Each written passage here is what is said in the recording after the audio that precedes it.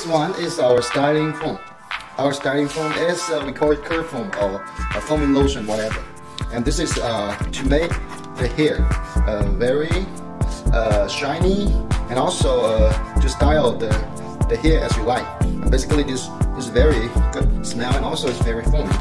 Uh, consistency and foamy and you can always uh, wrap your hair as you want and your hair a shiny look and also very uh, and also a very uh, very good look and to wrap your hair you can wrap by hand or in a, with a comb as you like.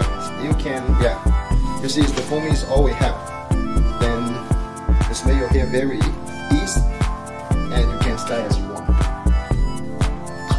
I think most of the product in the market is I think the consistency of the mold is very important I like it is because this uh, mold is very consistent and smell good.